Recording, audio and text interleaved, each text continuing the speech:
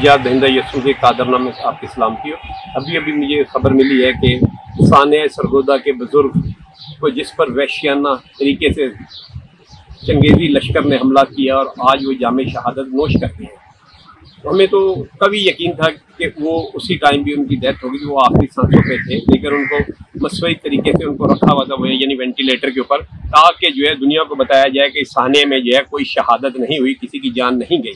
लेकिन अफसोस की बात है कि आज सुबह उनको, उनके ख़ानदान के हवाले उनकी डेड बॉडी की गई और कहा कि एक बजे तदवीर भी कर दें।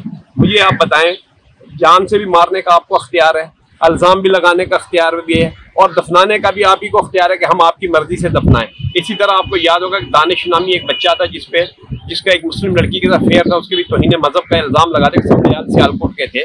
और उसको जेल के अंदर उसको जान से मार दिया गया और अल्ज़ाम लगा दिया गया कि उसने खुदकशी किया। और उसके जनाजे को भी समड़े हाल में दफनाने नहीं दिया गया।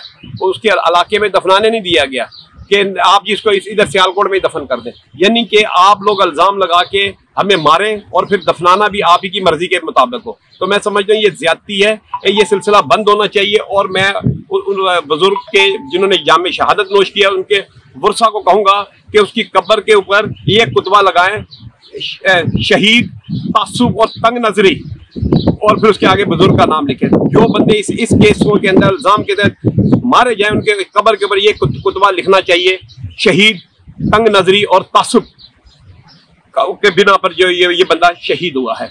ताकि ये दुनिया को पता चले और अब जो भी वहाँ कब्र पे उसको पता चले कि ये बंदा तासुब की वजह से मारा गया है। क्योंकि याद रखें, आप इन लोगों को ना रोक सकते हैं, ना इस कानून को ख़त्म कर सकते हैं और ना आप क्रिश्चियनों को तहफ़ दे सकते हैं। और हमें मालूम है ये सिलसिला ना कभी रुकेगा, ना ये आपने इसको ख़त्म, क्योंकि जिन लोगों ने इसको ख़त्म करना था, वो इस कुछ कर नहीं रहे। नौ मई के वाक्य के ऊपर आपने ढूंढ ढूंढ के बंदों को आपने निकाला है, लेकिन इस, इन बंदों को आपने निकाले जब यहुनाबाद के मसीहों ने अपने प्यारों को लाशें देखी तो वो जो है एहतजाज करने लगे। उनके एहतजाज की बिना पर आपने क्या किया? वो जो दहशत गर्दों के सहूलत कार थे, जिनको ऑन द स्पॉट पकड़ा, आपने उनको भी बेगुना साबित करने की कोशिश की। कहा कि ये इधर के रिहायशी हैं। एक सरगोदे से बंदा आया था, उसकी गाड़ी बाहर से मिली।